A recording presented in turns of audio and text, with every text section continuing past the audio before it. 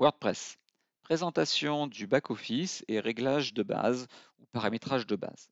Alors, à chaque fois que l'on se connecte en tant qu'administrateur sur le back-office du site, eh bien, on tombe sur cet écran-là. Cet écran est composé de deux parties principales, un gros bandeau noir qui contient l'ensemble des menus et sous-menus qui permettra l'administration du site. Et puis, sur la page de droite, euh, sur la, en blanc, la, partie blanche, eh bien, ça sera des petits conseils, des petites informations euh, qui euh, correspondront au menu et sous-menu. Alors, on va bien sûr diviser ce menu en deux grandes parties. On a bien sûr l'accueil principal et puis les statistiques du site. Et en dessous, eh bien, nous avons la partie la plus courante qui occupera 90 à 95% de votre temps, la rédaction des articles ou des pages, nous verrons plus tard ce que c'est, pour rédiger le contenu de votre site, et puis une bibliothèque de médias où on retrouvera l'ensemble des images, des sons, des vidéos que l'on aurait pu déposer sur le site. Enfin, et là les avis qui sont des réponses au formulaire.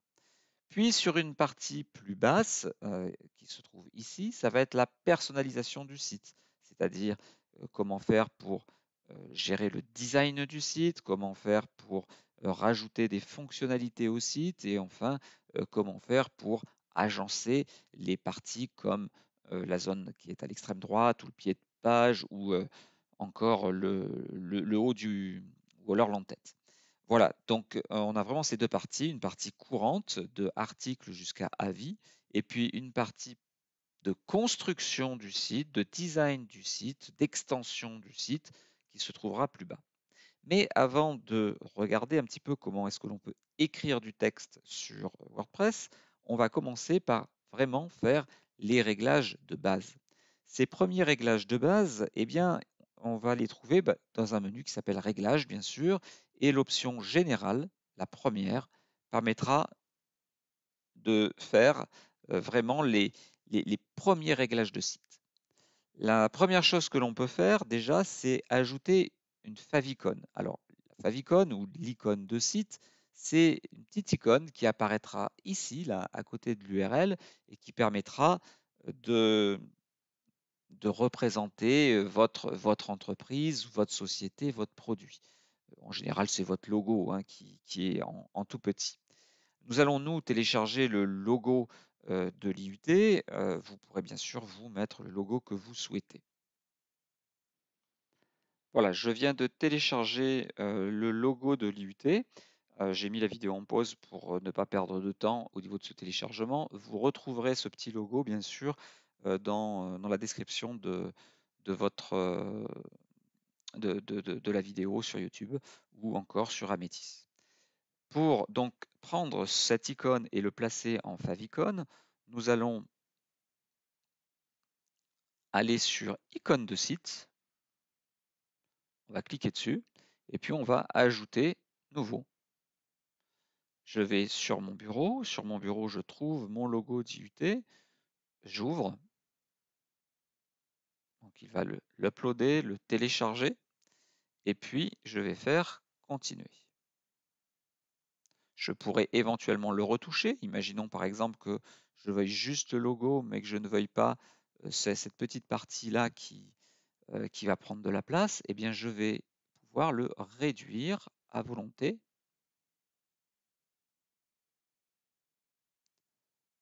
Hop, voilà, donc j'arrive à redécouper ce, logo. Je pourrais aussi le retourner ou le faire pivoter si j'en ai besoin avec ces petits boutons là.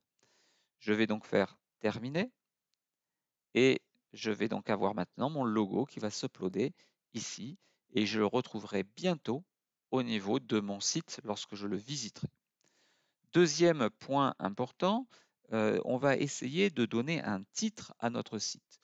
Alors là, le site, je vais lui donner le nom de Avotoc.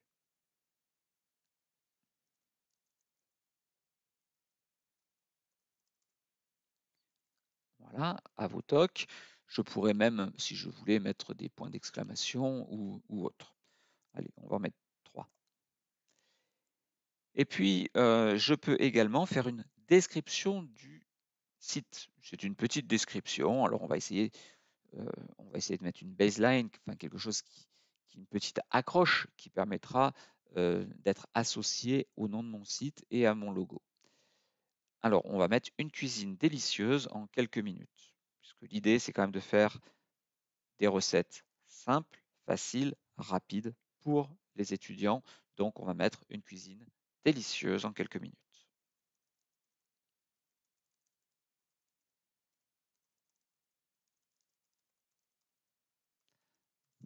Voilà, on peut là aussi hein, mettre par exemple trois petits points, peu importe. Je vais dès à présent enregistrer les modifications de, mon site. Donc ça, il faut vraiment penser à le faire hein. très souvent. On oublie d'enregistrer et donc c'est un formulaire web et donc tout est perdu. J'enregistre les réglages. Voilà, donc il me dit que mes réglages sont bien enregistrés. Je vais retourner sur Edge, qui est un autre navigateur, pour voir ce qu'un internaute classique voit maintenant que j'ai euh, fait quelques modifications, histoire de voir si mon site est visible ou pas. Alors, on va euh, taper studyexcuisine.wordpress.com. Pour l'instant, on voit que c'est toujours le logo de WordPress. On le valide. Et là, je vois que j'ai bien le titre, Avotoc, mais j'ai toujours le à venir prochainement. Je n'ai pas mon, euh, ma baseline, on voit que tout n'est pas remonté. Alors ça, c'est parce que mon site, pour l'instant, il est invisible. Euh, donc, je vais encore faire deux ou trois petits réglages. je vais vérifier deux ou trois petites choses. Et puis après, je vais activer le site. Dans des vidéos précédentes, je vous ai demandé d'activer votre compte, c'est-à-dire d'activer votre adresse mail pour euh, dire que vous êtes bien propriétaire de ce site. Là, maintenant, on pourrait construire l'intégralité du site et puis le rendre visible à la population une fois qu'il est à peu près fait. Moi, je vais essayer de le rendre visible assez rapidement. Donc, euh, je, vais, l'activer dans, quelques secondes. Néanmoins, avant de faire cela, d'ailleurs au passage, le logo de l'IUT, là, vous voyez, il est apparu. Donc, j'ai bien mon logo qui est là, tocs, trois points d'exclamation. Donc, dans l'entête, et puis également ici. Je vais retourner sur mon site web.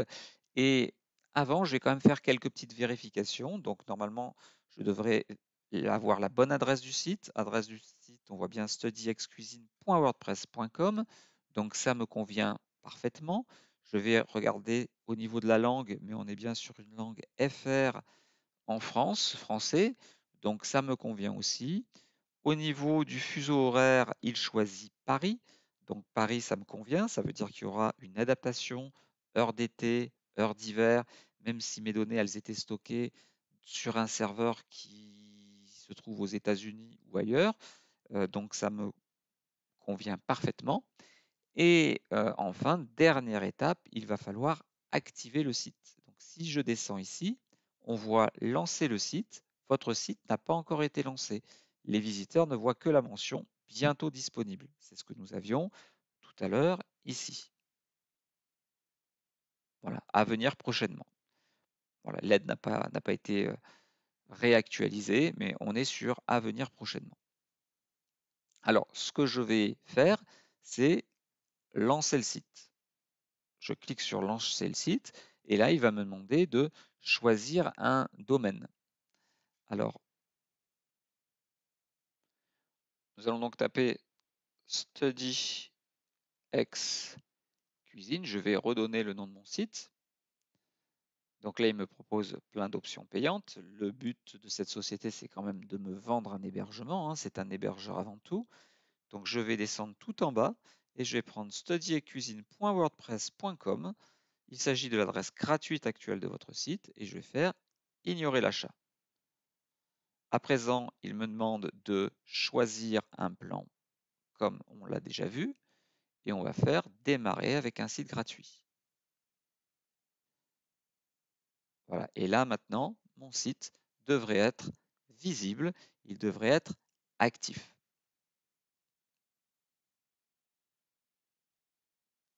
Je vais réduire cette fenêtre-là.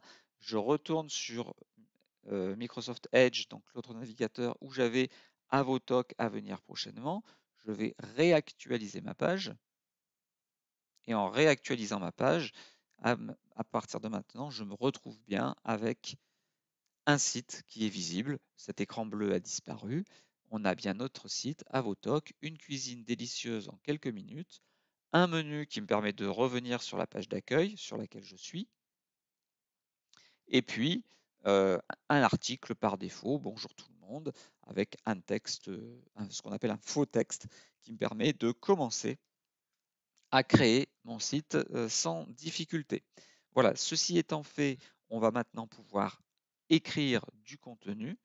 Euh, nous, allons voir dans les vidéos suivantes euh, comment créer nos premières pages web.